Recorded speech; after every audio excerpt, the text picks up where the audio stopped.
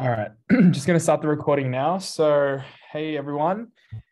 Um, I'm an MD3 at the University of Melbourne, and um, welcome to another Fraser's webinar. Just a couple of um, sort of housekeeping things for today. If anyone has any questions, just please put it in the chat.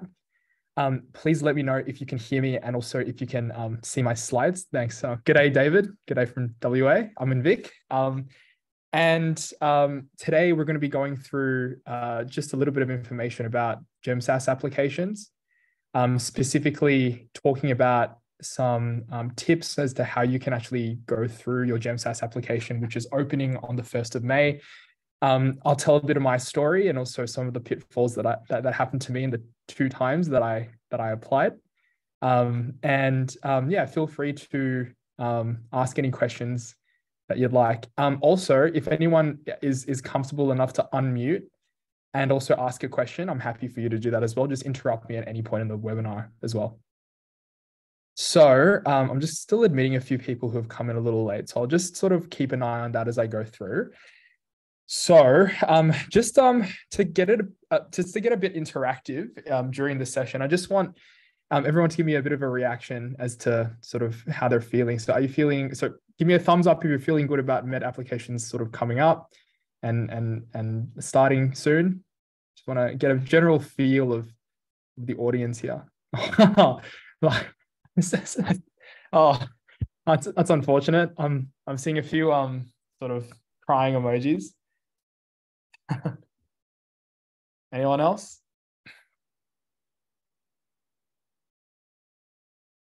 Do you guys have one of applicants who are applying after a PhD? Okay, you know what? I'll address a lot of the, a lot of the sort of um, questions in the chat in a bit. So yeah, um, no, look, it seems like generally people are relatively happy that applications are starting. I know it's a really um, nervous time for everyone. Um, it was nervous for me as well when I went through it. So um, yeah, I completely understand how you're all feeling. All right, so let me just um, start off. Uh, so uh, this is me. So it's good to meet you. Um, as I mentioned, for the people who um, are new that have just come in, so I'm I'm Kaiwan. I'm an MD3 at the University of Melbourne. Um, feel free to ask me any med questions as well if you have any pressing questions about uh, the medical course or just how medicine is like in general, um, since you're not in it yet. Um, so yeah, um, just today's agenda. Um, we're going to just take a look at GemSAS applications overall. We're going to talk a lot about deadlines because it's really important that you follow the deadlines very clearly. Uh, medical schools are they just don't care if you um, if you um, don't hit a deadline and you have sort of like an unforeseen circumstance, they don't care. They will um, just chuck your application in the bin. Um, they take it very very seriously. So um, just going to drum that down to you guys today. Um, I want to talk about how to preference. That's a really common question that I get a lot of the time. Like, what should I put first? What should I put second? Does it matter if I put like UniMelb first over UND? Um, we're also going to talk about rural documentation and some additional criteria. So stuff like CASPER, just going to run through it really, really quickly, even though we've already run through it last week. Similarly, rural documentation, bonuses, specifically for Deakin University, if anyone knows about that and is thinking about um, sort of um, applying for Deakin, and also any tips moving forward um, that I have for you specifically with um, with with interviews because uh, interviews are coming up soon. Interviews are really really important, and um, if you um, if you didn't go to our webinar last week, it's very it's very common for students to get incredibly high GAMSAT scores, have a killer application, and then they don't get in because they don't have uh, because they don't perform well in the interview on the day. So you don't want to be one of those people. so uh, let's just uh, um, start by just uh, giving a bit of an overview on uh, GemSAS applications. And sort of as I continue, um, as I said before, um, if you have any questions, please put it in the chat. Um, and I'll sort of answer it, I'll answer them periodically throughout this entire, this entire webinar. So, uh, firstly, um, let's let's just talk about GemSAS a little bit. So, um, I have a a few things on the agenda that I just want to just clarify. So, so GemSAS here, um, so as you all know, it's like the main body uh, to, as to where you apply for all of the GemSAS related medical schools. Now, there are other bodies out there that also exist, but they're independent to GEMSAS. So specifically, those ones are University of Sydney and University of, oh, sorry, and Flinders University. They have their own application processes. If you want to apply for those two universities, you have to go and do their own process separately with the university themselves. And we'll have another webinar on um, entry and, and sort of application information for um, USyd and also Flinders in the future.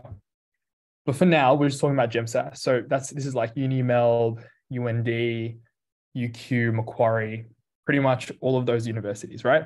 And they have their own external process that you sort of go through. And I'm sure everyone already knows that um, now. But if you don't, now you know. Um, so firstly, really, really important that you understand that GEMSAS applications, they open on the 1st of May and they close on the 31st.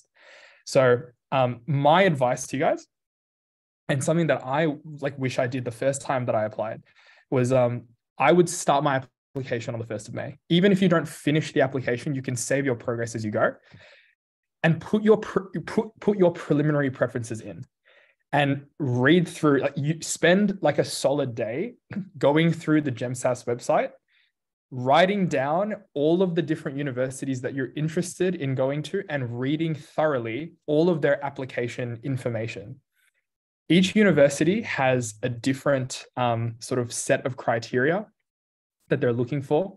And on the GEMSAS website, if you just go to this link that I have here, oh, sorry, actually, let me just go back.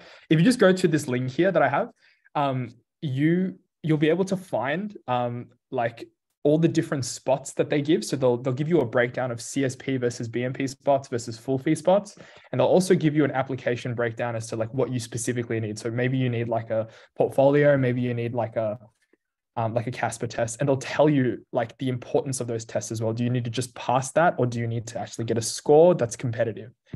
Um, so getting really well versed with all of that for your university is extremely important. So don't stinge on that. It's for your own future. Okay.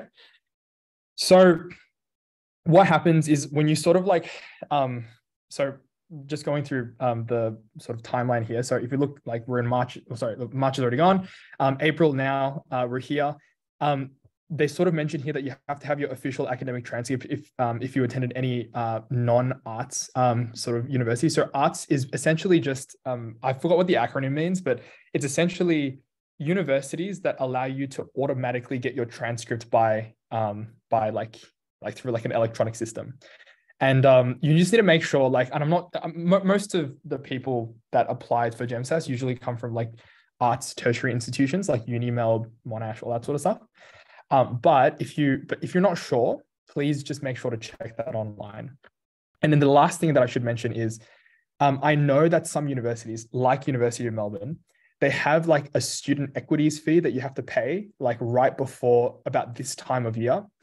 And um, if you don't have that paid, they won't release your transcript if GEMSAS, uh, like after you finish your GEMSAS application.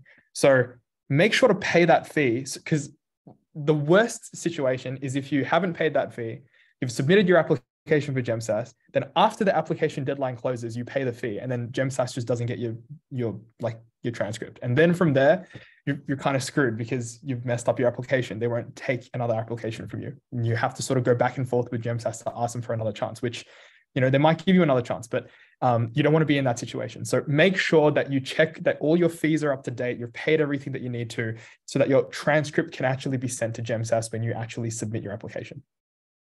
So then obviously in May, we have 1st of May, um, medical applications open, and then 31st of May, they close. Um, and then sort of looking forward to that, there's a bunch of other deadlines regarding sort of rural documentation and um, sort of like deadlines to like submit official transcripts and whatnot. Now, if you don't have an, um, an official transcript that is from an AARTS university, then you need to uh, submit your application um, separately and then you upload your transcript separately as well. Um, so make sure to keep that in mind. So really, really important because I know uh, people who have uh, sort of failed applications because they haven't paid that fee and then GEMSAS hasn't gotten their transcript. So um, really important that you guys sort of note that. One thing that a lot of people also ask um, is GPA and sort of how it's calculated, what it's weighted. Now, GEMSAS, like the guide um, that GEMSAS has online, has this really fantastic um, full PDF document that tells you how GPA um, is calculated across all different universities and the differences between all of those different GPA calculations. So, for example, UniMelb has a weighting of two, two, and one. So, third year is counted times two, second uh, second year is counted times two, and first year is counted times one. So it's it's back ended for your degree. So your your your your degree is where like getting good scores is better in your second and third years compared to first year. And I know that some universities have like an equal weighting, um, like first year, second year, and third year. And then some universities have first year is times one, second year is times two, and third year is times three. So um, your GPA will change depending on which university you apply to, um, because um, they'll they'll sort of calculate it a bit differently. So it's it's important for you to sort of understand how your GPA changes, and that could definitely um, increase your chances of getting into one, one university versus another, just purely based on rules. So, my best advice is to know what your GPA is in pretty much every possible type of calculation. So, once you read through the GemSAS guide, you'll know what, like, which universities calculate GPA in what way. And then you should take some to calculate your own GPA. Now, um, you, you, can do it either by hand or you can actually put all your scores into the GemSAS GPA calculator, which I've actually put a picture here for you just to show you what it looks like when you try and put it in, um, put it sort of like on the page. Now, when I was applying for medicine, this didn't exist. You had to pay to get your GPA um, sort of done. Um, and admittedly, I don't know if they calculate your GPA in all three ways using this particular um, sort of method. So, so my best advice to you is don't rely on just looking at this value. Calculate the GPA yourself and follow the rules as to how to calculate them so that you know um, sort of uh, sort of what to do so that, so you don't get it wrong. Once you sort of know your GPA for all the different universities, like once again, it, gives you just more information as to how um, you can um, sort of go about putting preferences in and also um, potentially what universities might be more applicable to you or not. So then, sort of after all of this is um, like sorted and you've put your application in. Now, like remember, um, like we'll go through preferences and whatnot in the next slide.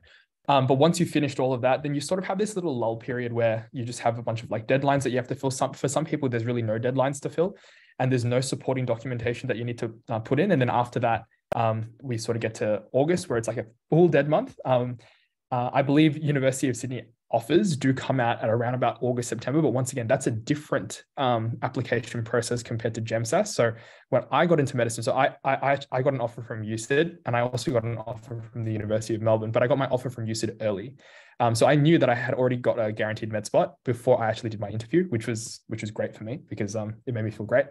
Um, and more confident going into my interview. Um, so I'm, I'm, I'm, and I'm pretty sure USyd applica- USyd like med offers also come out before. So um, keep that in mind um, because that's usually the important thing that happens in August. And usually in August, people are just preparing really hard for the interview. And then in September and like early October, that's where interviews are held. And um, and you sort of get your interview offer like relatively close to the actual interview day, um, which is like maybe a couple of weeks out. Um, so it's really important to sort of uh, make sure that you sort of look at that. Now, I just had a question here that um, could you please touch on how the UAC and Casper differ in their GPA calculation. Sorry, I'm actually not sure what's what's UAC. Could you just um um sort of clarify that? The and USyd, do you know what? Okay, okay. So so I'll answer all the USyd questions probably in the USyd webinar. So that's and, and I'm running that because because I know a bit about USyd um in its application because I, I messed up my USyd application um and that's a funny story um but um uh, in terms of um, so Casper, so Casper is a different sort of examination that you need to take that's completely separate from your GPA. So um, what the Casper is is it's essentially a situational judgment test that you take, and um, two universities use it. So it's UND and University of Wollongong, and um, I, from what I understand, is you need to get a certain pass mark in order to be considered, and it, and your score has to be relatively competitive compared to the cohort of people that are taking it. So it's important to do well on the Casper. And um, the the types of questions that they ask you are like sort of scenario based questions that are relatively ethical in real everyday life. So it could be a question about like a you know that you're you're working as a cash register and then someone comes in and asks for a refund on an item, but had but doesn't have a receipt, but then they tell you that they need it because they need to pay a medical bill that's really urgent. So then you have to sort of write down the ethics behind that and sort of make a decision as to whether you want to uh, you want to give that refund or not ultimately. Um, it's not a multiple choice test and it takes about 100, 100, 100 to 120 minutes for the entire examination. Um, and um, usually they have sort of like one stem and then they have about, I think, it, I think it's about three questions like underneath that stem that you just have to answer manually. Um, so um, Okay, yeah, and then the next one is um, so so yeah, um, that's that's sort of um, like how um, the CASPER differs to GPA calculations. So they're separate, remember, like, but they're only for two different universities, so UND and U and University of Wollongong. Um, and um, in terms of GemSAS, could you please touch on how GemSAS and um, CASPER differ in their G? Uh, so yeah, sorry, I'm I'm still not really too sure what UAC means, but um, anyway, look, um, if you could just give me a message with like what just clarifying that, then that would be good. But I'll just move on to the next part because I think I just want to run through everything first before I just answer questions for the rest of the um, the time. Um, so, but if anyone has any questions specifically about like the GPA um, calculations or the timeline um, and sort of how it, how it operationally works, just let me know. Uh, can I get my GPA calculated from GemSAS if my results are from overseas? Yes, you can. You can definitely, and you can contact GemSAS, and I believe you can get that done. Um, and I've actually put the GemSAS email um, here. So info at gemsas.edu.au. That's that's that's the email that you that you should contact um, to get pretty much any anything done, and to get any sort of um uh sort of uh I guess um, query sorted. Okay, um, how do they count SEM two of last year of offers come out uh, of last year if offers come out at the end of October? So what they do is they give you a provisional medical offer. So yeah, it's a it's a it's a really good question. Um, so what happens is um, so if you're finishing third year this year, and let's say up to this point in the degree, let's say up to like right now, and after your first semester of results, um, which they'll have, right, when they give you the med offer, because they'll they'll take into account your first semester results.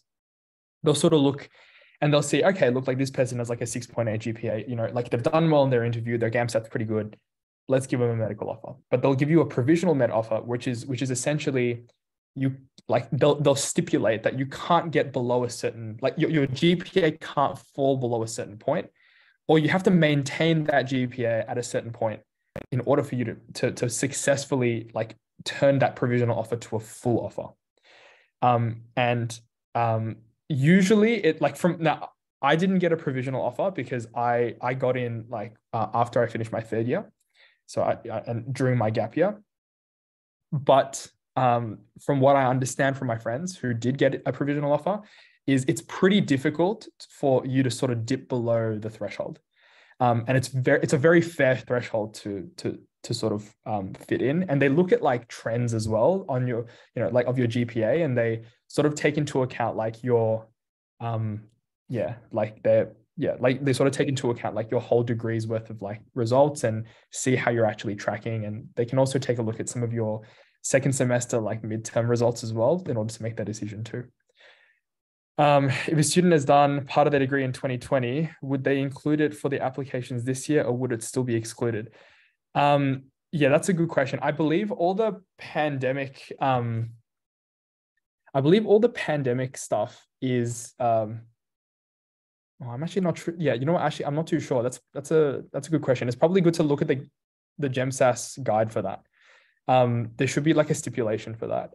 Um, my understanding was, uh, and th- this is like not official information by the way. Like my this is only my understanding from what i remember is that like you have a choice um, as to whether you want to include it or not. Um, but once again that that could have changed and it might just be completely excluded.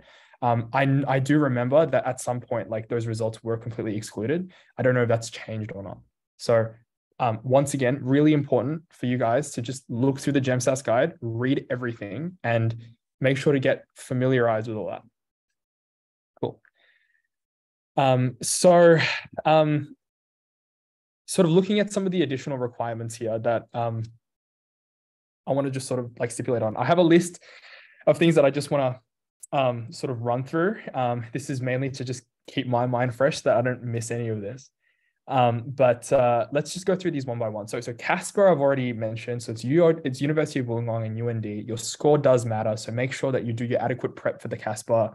You know, do the practice paper that that um, the that Casper gives you, and then potentially just um, like the best way that I recommend to sort of prepare for the Casper is prepare for interviews because interviews have a lot of ethical scenarios, and then you also can sort of double up by doing it by also like thinking about ethical scenarios for the Casper too. Um, so that's really, really good. Um, so uh, take it seriously um, and, and don't take it lightly because it, it is a, it, it can be a challenging exam for, for, for, for some. Um, for portfolios, uh, University of Wollongong is, um, oh, okay, actually, yeah, this is a good question. So like, uh, so I just got a question here that says, what does, uh, when does Casper happen?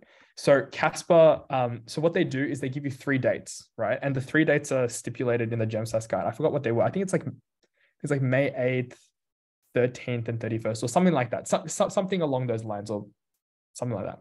And what happens is you just get a choice um, to do the Casper in one of those three dates. Um, there is no difference as to when you do it. It's really dependent on your own comfort.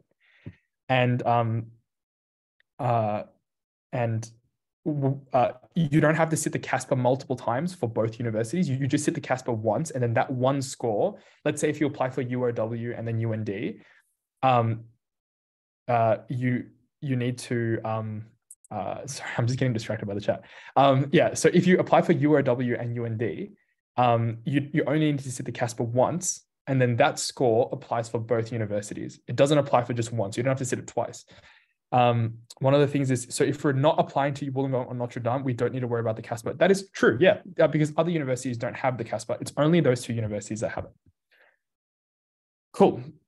So let's go through portfolios. So portfolios, um, so there used to be a UND portfolio. That doesn't exist anymore. That was replaced by the Casper, which is why I'm sort of banging on that the Casper. If you're applying for UND, it's really, really important to like do the Casper right. Um, but for portfolios, that's Wollongong only now. Portfolios are a big deal. It, it's a, it, it takes a while to write it. It's a very, very important document that you need to put a lot of time and effort into. Do not wing your portfolio. And because like medical, medical schools will, will, will, will know how much effort you put into it. That's one. And two, um, it is a differentiating factor between students when it comes to applying for the, um, the University of Wollongong. And um, I, from and um, I, I, didn't apply for the University of Wollongong, from but from what I've heard, it's it's a it's a it's an important, a very very very important part of the application. So, um, yeah, and the University of Wollongong is the only uni that requires a portfolio. So you need a portfolio and a personal statement. So a personal statement um, is separate. It's it's like actually no, it's not really separate. It's like it's like separate, but it's also attached to the portfolio. It's basically uh, the the personal statements like this um, sort of statement about who you are and then sort of why you want to go to the university. And then the rest of the uh, portfolio, they have a bunch of domains that um, the university sort of advises you to write about. Um, that, that can all be found in the University of Wollongong application area. And then just read through it and then see what sort of restrictions they give you to write that portfolio and just try to um, reflect on your life and, and write something about that. Um, we at Frasers, we have portfolio services that we can assist you um, to sort of, um, sort of like, I guess, touch up the portfolio and sort of think about how um, sort of these, I guess, like how, to best articulate your experiences on on a page if you're interested. Um, but um, you, you know, it's something that you can also definitely do yourself. Cool. Um, I got a question. Do you have to be religious to go to UND? No, you don't. And that's a that's a, that's that's definitely not for any university. Um, is the university okay? No, that's it. Okay, that's that's all for the moment. Okay, so personal statements, UND and Macquarie. Uh, sorry, actually, that's not right. Uh, it's not UND. It's for um, University of Wollongong. So personal statements, as I said, University of Wollongong and Macquarie. Um, uh, it's not really a portfolio for Macquarie. It's, it's, it's just a statement that sort of outlines why you want to go to that particular university. Um, and as I mentioned, it, it's um, like it's it's not a portfolio. It's just sort of like a precursor to it. And um, it's it's important that you put effort into writing it um, and that you, you you really write it properly because there's a word limit and um, you need to ensure that every single word that you put on that page has weight. Um, I didn't have to write one, so I'm I'm not the best at sort of giving advice about personal statements, but um, I, from what I've heard, it is something that you you you need to really think about and you know get multiple people to read to give you feedback on.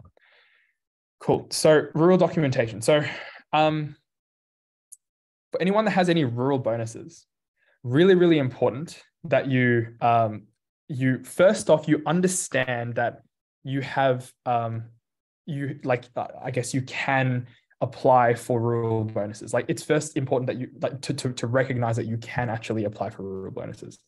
The second thing that you need to do is to make sure that you read the guide so that you know when the rural bonuses and the evidence that for that for those rural bonuses are are due because you don't want to get to a point where you've assumed that you have these rural bonuses, you have all the documentation ready, but then you don't read the guide and then you miss the deadline. So I'm just really banging on how important it is to read the application. Like mm, so many people get weeded out because they just don't read and like they just take things for granted and then, you know, and then just it screws them. So don't be one of those people, especially when it comes to medicine. Uh, put your academic transcript. Make sure to pay your fees. As I'm, I'm, I banged on about it before. I'm banging on about it again. Pay your fees. Make sure that your application um, doesn't have any issues and and and yeah, and you're just um, you, your, your university will release your transcript. So make sure that that's, that's, that's there. Um, I got a question here. If you are a non-rural applicant and you do not have any work experience in a rural area, will you be disadvantaged when applying? It really depends on what um, university you're applying to. So for the most part, no, because you, you know, they don't discriminate on people. Like medical schools are very fair. They, they won't just preferentially pick rural students or people who, you know, um, do not have evident, uh, you know, experience in a rural area. But there are some universities that do actually look at rural students more than others. But they mentioned that in the GemSAS guide. So if you want to know which universities are specifically like looking for more rural type students, or you have rural or, or that provide more rural bonuses, then look at the guide and see sort of what they provide. From my understanding, so the University of Wollongong is, is has a significant um, rural medical um, sort of um, uh, like I guess focus, yeah, like a big medical, uh, yeah, like a big rural medical focus. Um, so that they're one of the those universities where a rural background and also a rural, a rural experience goes a long way. Another university where that goes a long way is Deakin University because they specifically give you bonuses based on what you've done. Um, and one of those things is um, also if you are a rural or have experience in a rural area. Um, what is rural documentation? Is this needed for international students? Um, yeah, international applications are a bit tricky. I'm not a personal um, sort of expert at that because I, I, didn't apply internationally. And I believe we'll probably have another webinar for international applicants. Um, but for rural documentation, it's it, it, differs for different universities. I don't know what they are.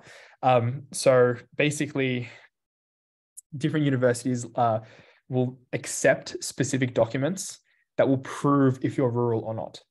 Um, but you have to read the guide to ensure that you have a document that complies with their rules. So once again, make sure to read the document. Um, I'm confused, sorry. Do only UniMelb students have to pay their academic transcript fees or everyone who applied to UniMelb? No, no, like every single, like every university in general, right? Will have like some sort, like you'll have to pay some sort of fee. Like this is like an, this is an internal fee right? So like, it, it, and it's usually something called like a student amenities fee or something like that. And make sure that if you have any outstanding fees from your university that you have not paid, right? And this is this is not just a UniMelb thing. This is every single university. Um, make sure to pay them because you want to make sure that you uh, are not locked out of your transcript at all. I hope that makes sense. uh, it's um it's it's it's not just a UniMelb thing. It's it's like in every university sort of thing. If they have any fees for you to pay, just pay them. Like don't don't like skimp on that. Um, because then they might withhold your transcript because you haven't paid. And then if they withhold your transcript, they won't send it to GemSAS when you put the application in. Okay. for Deakin, is it any is is it any relevant work or clinical experience or just real clinical work experience they t- take into account?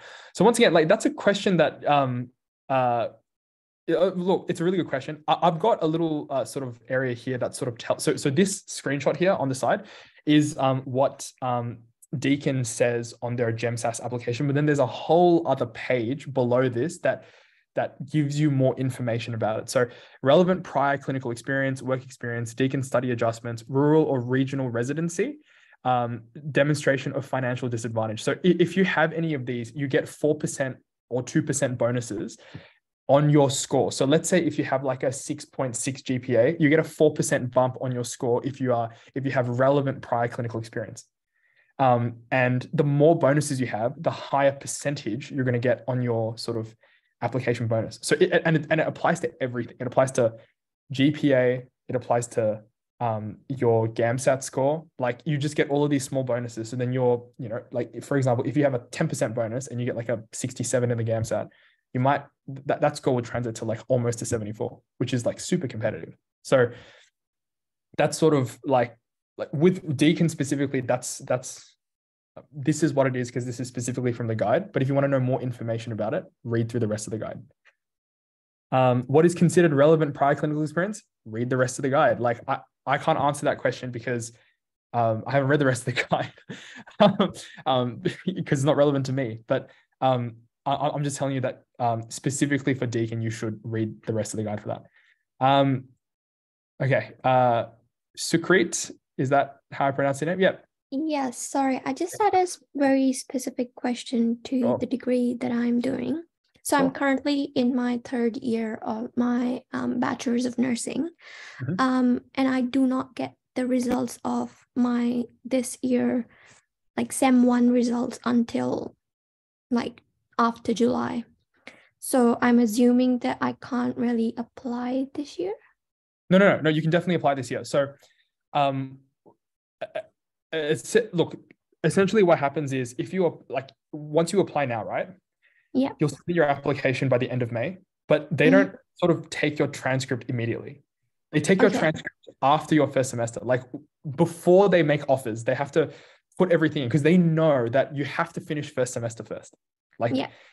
like they can't just you know give you an offer without seeing your first semester results so yeah. and that's the same with every single like course by the way so it's not like so you're not in the same boat um, right. So once you get all your results, they'll get your transcript and then they'll give you an offer based on your current most up to date GPA to that point, plus your GAMSAT, plus whatever other bonuses you put in. Make sense? Right.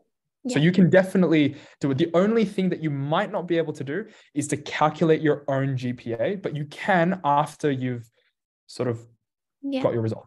Yep. Yeah. All good. Yep. But you. you can definitely apply 100%. Yep. Yep. Cool. Alrighty. Um, so all right, let me just finish this because I'm getting a lot of questions about like Deakin stuff. I'm gonna talk about more Deakin stuff, guys. Don't worry, don't worry. Like it's it, like and, and and like we can spend a good like 15 minutes talking about Deakin if you want. But I, I just want to get through like preferencing and CSP, BMP and stuff because I think that's really important to sort of thrash out. So preferencing advice, question that I always get for people like in general, right? What should I put first? What should I put second? I'm just gonna sort of debunk a few myths here. First off, it doesn't matter what you put first, second, third, or fourth. It, it really, really doesn't matter. The reason why is um, because if let's say you put UniMelb first and then you put um, uh, like I don't want to be disrespectful to another university, but like if you put let's say um, like like you know what let, us just use the example of Deakin, like Deakin second, but you have no bonuses. So like the um so the UniMelb GPA cutoff, let's say, is like really high, and um the uh, let's say the GAMSAT cutoff is also super high, right? And then for Deakin, let's say like the cutoffs are not too high, right? Like compared to UniMelb. What they'll do is they'll look at your preference and be like, okay, you do not like you can't um, uh, get an offer at the University of Melbourne, right? Because you uh, you don't meet the GPA and the GAMSAT requirements for it. So then they'll look at the second preference and be like, okay, do you do you fit the bill for for Deakin, and then let's say it's a yes, then they'll give you a, an interview offer for Deakin.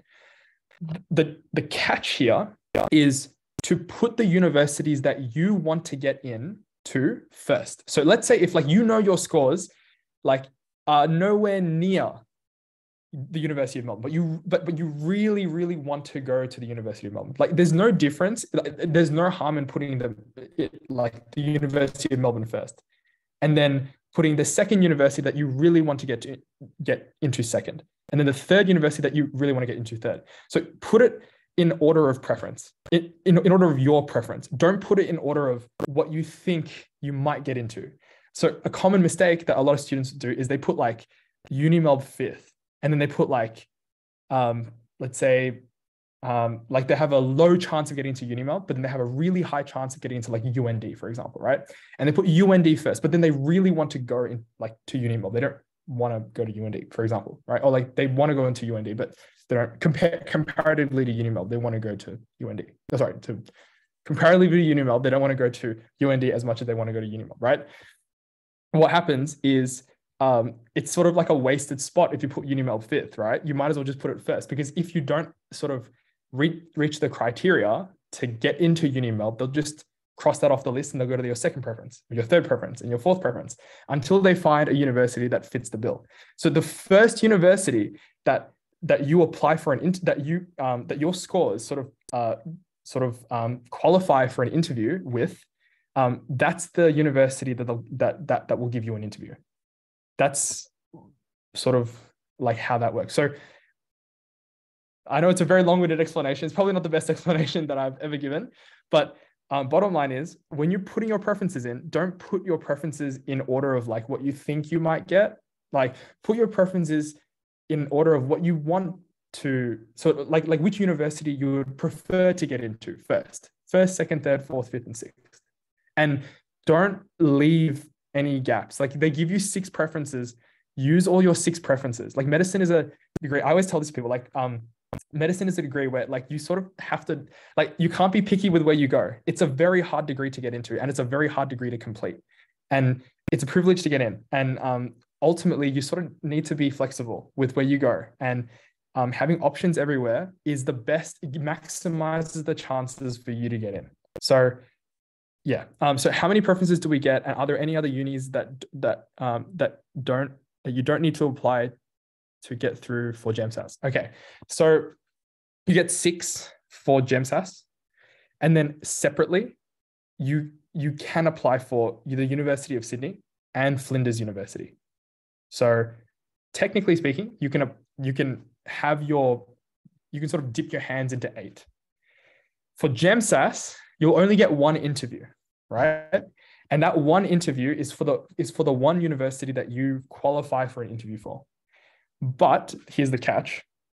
If you interview somewhere, and let's say like you don't get in to that particular institution, you can get into other institutions um, that you've put on your preference list. This is why I, I say it's so important to fill your preference list out. So, because I know a few of my friends who have interviewed at the University of Melbourne, but then they got offers to Deakin University. So, um, don't um, so don't think that like oh just because you got a UniMelb interview, it's impossible for you to get anywhere else. No, it's definitely possible.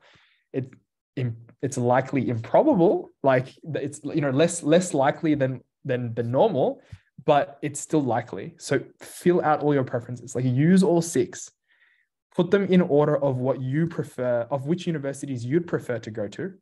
And um and and um yeah, that's that's sort of um like what I would advise to you for preferencing. Um okay, so let's see. Okay, I've heard that unis may see your preferences, so it may look bad if you put a uni at a low preference. Is this a myth? Seriously, if you're concerned, if you're concerned about that, then um, you you're wasting your brain space. Don't worry. So don't don't don't even think about that. Like put be be honest about where you want to go. It's like don't worry. Seriously, don't like, that that's like I'm not going to say if it's a myth or not because I don't know like for sure if it's a myth, but it, it's not going to affect your application at all. Does not matter. Um, so if you are skipped over by your first preference for, for an interview and interview at your second preference, and you interview strongly, would the first preference still use your interview score from second preference to consider you for an offer that has the sh- okay right yes that's a good question so basically what this person's asking is if you've interviewed for your second preference can you still get into the university for your first preference um so I would. Uh, that's a that's a really good question. It's a really good question. I would say logically no, because um, if you uh, were to get in, if you were to get an interview for your second preference and they skipped your first, that means you probably didn't, uh, uh, you know, uh, qualify for an interview for your first. Um, that being said, that is a good question to ask GemSAS because it's good to clarify that with them. So maybe for whoever asked me that question, maybe you can email this email, the info at GemSAS email, and just clarify with them whether that's actually whether um, it works like that or not. But logically speaking, from what I'm thinking, I, don't think that's possible. That they could only give you universities that are sort of like that that have a that that you fit the bill for the requirements, including the GPA and including your your GAMSAT, for example, because the interview isn't the whole application; it's only, it's only a portion of it. Um, so, do lower preferences use the score from your higher preference that you've interviewed for, assuming you didn't get into the higher preference uni, or do you also need to do that uni's interview? You only do one interview. So you have one interview only for GemSAS, and that is the that is the interview that is used to consider you for any medical spot in GemSAS universities. That's it. Okay, I was looking at the fees for the academics transcript. I could not find any outstanding fees, but I have not paid any either. I did see that it cost $22 to get a transcript. So no, no, that's not the fee. So if you don't have any fees, then it's fine. But like, like maybe, maybe only like, you know, maybe some universities don't actually have like a, student amenities fee, but like, look, I, maybe I just like confuse everyone with that. But um, what I'm saying is like, if you do have any fees, just make sure to check. And if you, if you, um, haven't paid any fees to the university for um, sort of any sort of student amenities or any sort of like subject fees that are compulsory or whatever like that. You know if you don't pay that then um, they could they can withhold your transcript and you don't want that to happen. Um, the $22 fee to get your transcript that that's not that's not the fee i'm talking about all right, to clarify, if you attended an AARTS university, do you need to request and pay for your academic transcripts from your uni in order to upload them? No, GemSAS automatically gets them. If you're from an AARTS university, they just get it from those universities automatically. If you're part of a non-AARTS university, then you need to print out, well, essentially you need to get your transcript from your university and then manually give it to GemSAS. Cool.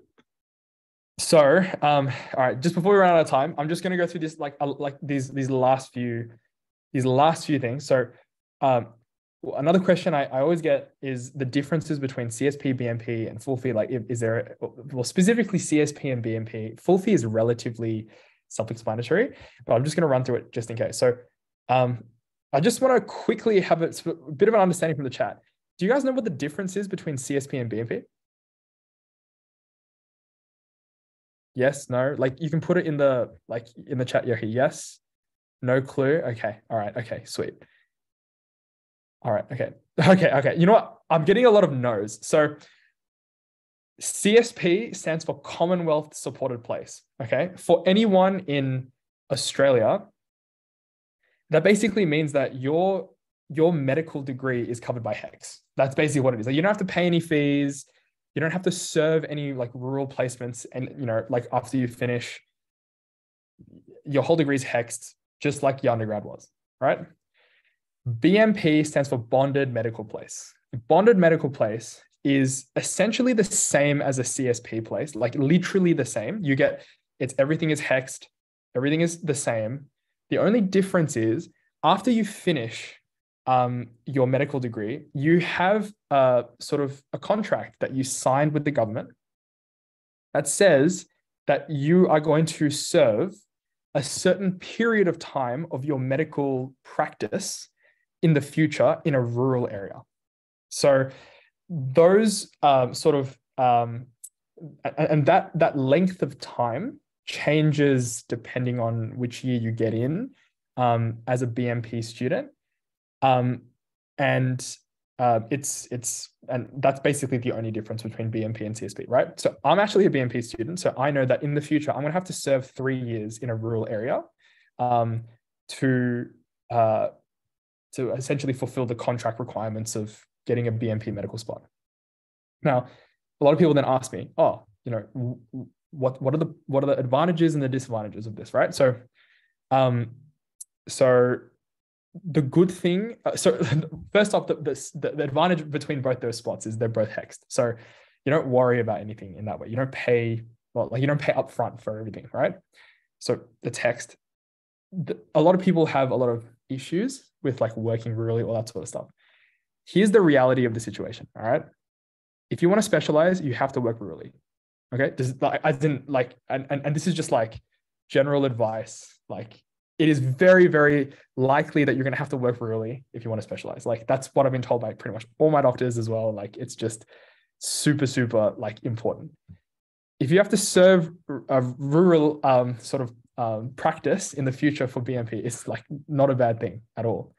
Um, you're also giving back to uh, and to areas of Australian um, low socioeconomic healthcare, which is extremely important and um, you learn so much when you go out and work rurally much much more likely a lot more than what you would in a in a um, sort of metro area because you have a lot more independent um, sort of learning opportunities when you're in rural areas. And also um, you get uh, a lot more sort of like one-on-one um, time with patients where you can build proper relationships with them because they're in smaller communities so there's actually a lot of um, benefits to uh, working rurally, doing placements rurally, um, learning about rural medicine. It is actually extremely good. So for the people out there that are thinking themselves, oh, you know, look, like BMP is, you know, not great um, because, you know, I have to go rurally, like, please reconsider and think to yourself about the actual implications for yourself in the future. Like not everything is just about like family and staying in metro areas or that sort of stuff. Like, um, you know, uh, as I mentioned, there's a there's a whole different field and a whole side of medicine that you won't see if you don't go rurally, and you'll sort of limit your own uh, career if you don't do it anyway. So whether or not you're CSP or BMP to me is basically the same, because if you're CSP and you want to specialize, you're going to have to go rurally regardless. So, you know, like you know, take what you will in my opinion, CSP BMP is pretty much the same. Full fee is the only difference. It's like, well, yeah, you have to pay for your whole degree. That's and and, and that's self-explanatory. Now, to answer to answer a few questions about CSP and BMP, um, can you choose which spot you get? Yes. So, well, I mean, not yes, but you can choose which spot you'd like to be considered for. So when you when you put in your application, right, they'll have like tick boxes, and the tick boxes will be like, do you want to be considered for CSP, BMP, or and then you can tick both, right? And then and then there's and then for some universities that offer full fee, they'll also have a little box that says full fee as well. So then you can just pick. Can you pick what rural town you go to? Um, from okay, so I haven't actually read through like the particular regulations. From from my understanding, yes, you can. Um, but um, but but there might be some regulations behind that. I'm not 100% certain. Um, yeah, that's that's all I can sort of say about that. Cool. So um, next one, bonus points and deakin specificities, um, or and deakin specifics. So uh, I think I've already covered that. Um, so it's just this sort of um, uh, sort of side here where it's um it's in the GemSAS sort of application guide. So just take a look at all of this and, and read through um, the rest of the guide uh, to get a bit of an understanding as to what specific bonuses um, you can get and then what actually constitutes as a bonus. So some people think that, um, oh, you know, I have this experience in the past and that would cover um, the, the criteria, but there might be some other sort of you know stipulations that you need to read to ensure that your application or, or, like your prior experience actually covers the specific parameters of the application. All right um, and then um, each university offers specific so yeah as i mentioned previously every single university has their own bonus points and has their own specifics that they can that that that they offer so make sure to to sort of read all of that. And the last thing i just want to mention before i answer questions in the chat um, for the rest of the time is um, cutoffs. So um, a lot of people ask me, oh, like, what are the cutoffs for interviews? What are the cutoffs for, for like, you know, what's the GPA cutoff? What's the, um, what's the, what's the GAMSAT cutoff for all these interviews? Well, what I'll do is I, I do have um, one sort of link that I can give you guys. Um, that I'll just put in the chat here. So the link is um, essentially a it's a GradReady um, sort of link that sort of tells you like some data as to like what the GPA calculations were previously and also what the um what the what the like GAMSAT cutoffs were previously. Um honestly, I would take all of those um I would take all that data with a grain of salt. There's a lot of data that we don't know um that isn't released. Um it's only like all of that all of the data presented in that little link is um, is based on sort of people based on here like sort of like what people say and and um, only a very small subset of people that actually got in. So so take it with a grain of salt. My advice is to not worry about what the cutoffs are and just do your best. Um, one thing that you sort of get when you get into medical school is just to like not worry about the small things and just um, try and just chill. Like just yeah just just just be as chill as possible.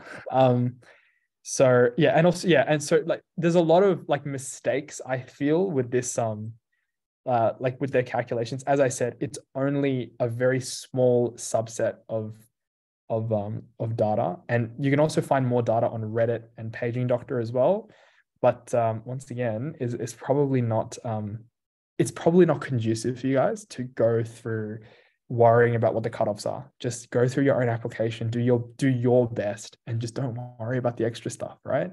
Um, so yeah, that's that's my best advice for you guys. Cool. So this is it. Um, if you have any questions about anything pertaining to anything that I've said in this chat or anything to do with GemSAS applications, please contact admin at frasersmedical.com.au. If it's not me that gets back to you, it'll be someone else. And um, there's heaps of people here that know what they're doing um, some more than some more than me as well.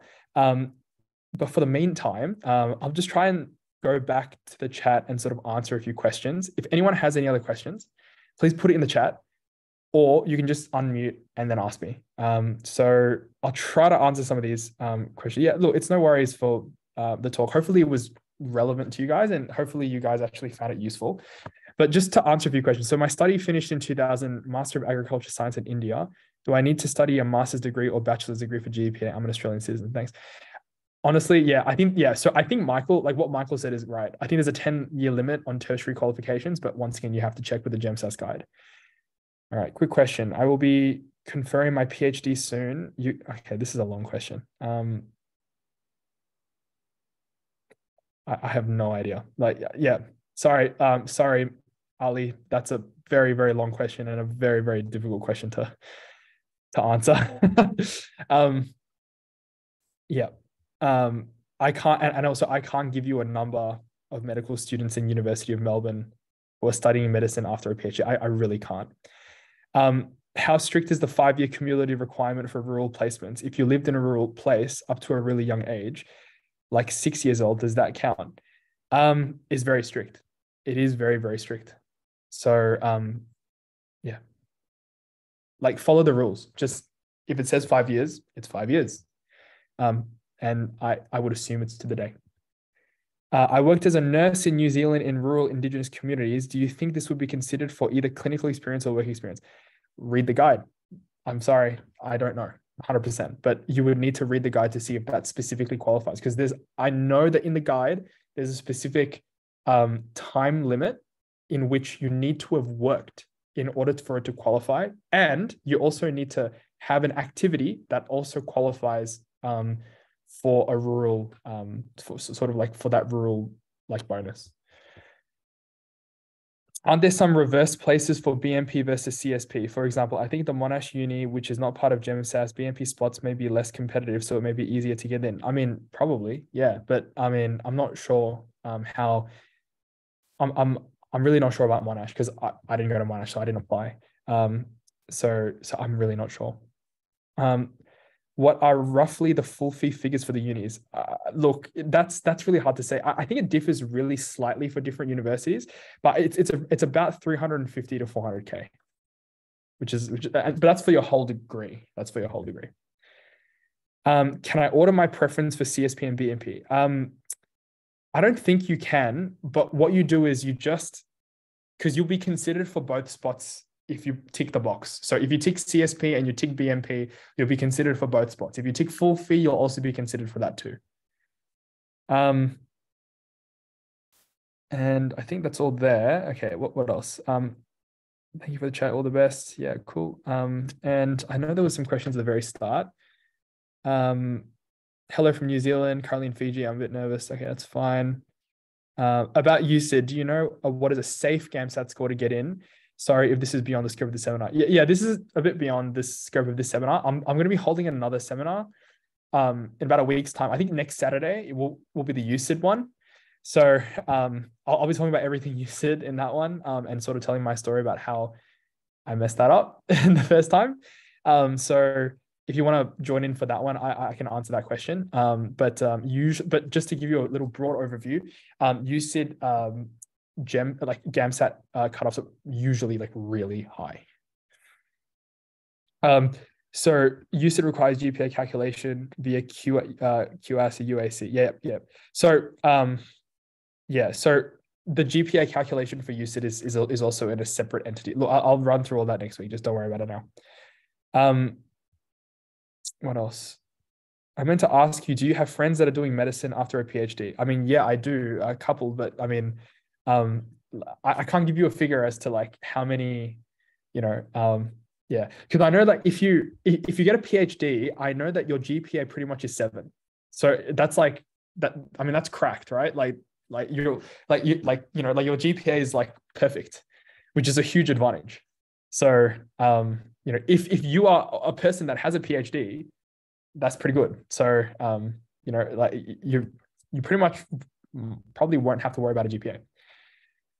For the other GemSAS unis, is there any advantage competition wise for us to be BMP versus CSP? No, there's no advantage to be either one. Like, I mean, it's an advantage for you if you pick CSP and BMP because you open up pretty much double the spots to to to get into medicine. If you only tick CSP, like you're only limiting yourself to those spots. Like that's basically like, you know, um, yeah. So I mean, yeah, like just weight of numbers, you know. Like I, I also applied for full fee as well because like you need as many spots as you can. Like it's it's hard to get. It's really hard to get in, guys. Like it's not it's not it's it's not easy. So like don't skimp on stuff and and and try to you know apply for everything. Um, with unis that have a super high cutoff, if you have a very high, if a very very average GAMSAT but a GPA of seven, wouldn't putting that uni into one of the six preferences be a waste? Um, no, not really. Like, I, I mean, like you've got six preferences and there's only like eight universities. Like, I mean, are you really not going to be putting a university that you really want to get into or like you realistically can get into in one of the six if you only have eight universities to really choose from? Like, I mean, you sort of have to think about it that way. Like, I, I feel like that's a very niche scenario. Um, do you know if you can apply to one uh, to one uni more than once but through different pathways? Um no you can't apply to like for example if you want to go to unimelb you can't apply to like for unimelb through unimelb and also through gemsas. Um actually no i lied. Like there is a way that that you can well, you know what? If i really don't want to go into that. Like the way is like you have like is if you've got like a 99 ATAR and you and you have like a guaranteed med spot and you have a 75 plus like um, like a WAM at UniMelb and you want to do full fee. And I think you, if you are specifically in that category, you can apply for a, the UniMelb med spot specifically through University of Melbourne. But like we're talking just broadly, no, like you can only apply for GemSAS universities only through GemSAS. You can't apply through them anywhere else. Um, yeah. And I think that's about it um, I think that's about it. So, right. I know it's a huge word vomit. Sorry, guys. Um, yeah, hopefully that was um. Oh, oh, no, I meant like if you did rural pathway versus domestic entry. Um. No, you can't apply. Oh, wait. Do you know if you can apply to one more uni, one uni more than once? No, no. Like you can't. You can't apply for like different. Like you can't apply for the same university rurally in one like once rurally and then another time like through uh, like metro if you put one application they'll consider you for everything so um Yeah. Sorry, I'm not sure which eight universities are there. Will I get the list? Yes. Yes, you will get the list. Just read the guide. Guys, seriously, I'm just going to tell you guys read the guide. Don't be one of the people that just hasn't read the guide and then they mess it up. Medical applications is genuine. It's, it's, it's not a, it's not funny stuff. Like it's serious stuff that like you need to be educated on like everything in order to make sure that you don't get it wrong. Read through the guide. Um, so uh, I'm a bit confused about the one GEMSAS interview. If you only do one interview and different unis may have different styles of interviews, how do the uni standardize their interview performance? Don't ask me, ask the universities. That's that's a that's a good question for the like that's a that's a good question for them. Like if if we knew that, then like imagine how much great knowledge would have and would be able to share if we knew that. Like I I, can't answer that question, but they do standardize it somehow. Uh, why do you need to work rural to specialize? Well, uh, that's a good question um, to ask like um, a doctor.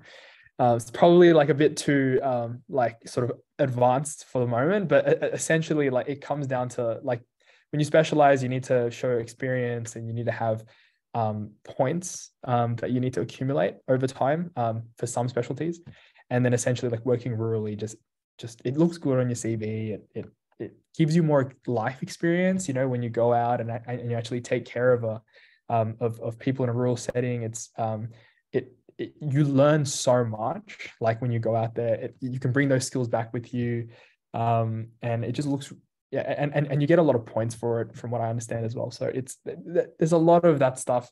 You'll get introduced to all of that when you get into medical school. You don't have to worry about that um so yeah um Will there also be a webinar for international students soon? Uh, probably. I mean, like if not, then I'll just bring it up with like you know upper management. So and then we can get it sort of sorted. You know, um, are these webinars recorded? If so, where we can, where where can we find it if we want to rewatch this video? Um, yeah, I mean, I mean, I recorded this one. Um, like in terms of where you can find it, I I don't know, probably YouTube. Yeah, no, yeah, yeah, no, no, YouTube, YouTube, yeah, yeah, yeah no, definitely YouTube. Just check the Fraser's GAMSAT YouTube channel or the Fraser's Medical YouTube channel, which one of those two, and this will be on it. And my also my talk last week for the Caspers also on that. I, I just remembered. So yeah, just go watch it on YouTube. Um. So yeah, uh, just want to just want to cover how practicums practicums are calculated with GPA if it's a pass fail. Sorry, what does that mean? like if it's a pass fail, how do you practice? How do you calculate your GPA? Um, yeah, look, it's a good question. Um, they probably give you a score in addition to the pass fail. Like, I'm I'm sure I'm sure there would be, or if it was a pass fail, like, um, probably best to ask GEMSAS.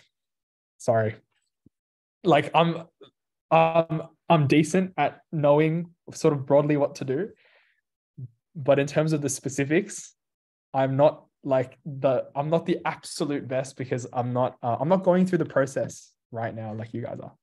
Um, how and where can we find work experience for a medical application? I'm in second year of my clinical science degree. It's a good question. Um, probably good to read. Um, uh, probably good to read the guide first to see exactly what work experience would constitute um, a satisfactory sort of job for that to give you a bonus on your application and then sort of try and find work there. But I'm pretty sure there are very that but guys, you have, you have to remember there are very strict guidelines as to sort of w- what the work has to be and also how long you've had to do the work because they they need to protect from students just doing it for like six months and saying, hey, I work experience, you know, like it, it's a lot more sort of, yeah, it's a lot more strict than than, than that yeah. And yeah and amy said yeah it's a it's any work that's more than 36 hours a week for two years consistent yeah. So see someone's someone's read the guide. Read the guide guys. Read the guide. And contact GEMSAS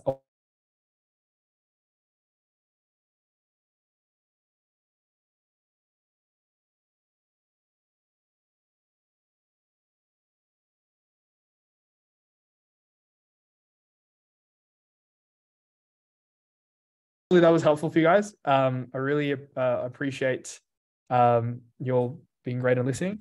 Um, yes, I've also I've just answered that question. So will there be a, a webinar for international students? Well, um, probably, and I'll and if not, then I'll probably just mention it and say that it's something that you guys want. Will this medicine universities, you're studying in A and want to study medicine in B. Uh, yes, I mean, yeah, like if you're in Uni Melbourne, you want to get into UQ, it's exactly what you would do. Yeah, awesome. Great. Good luck for your GEMSAS applications, everyone, and um, make sure to look at the deadlines and read the guide. Okay.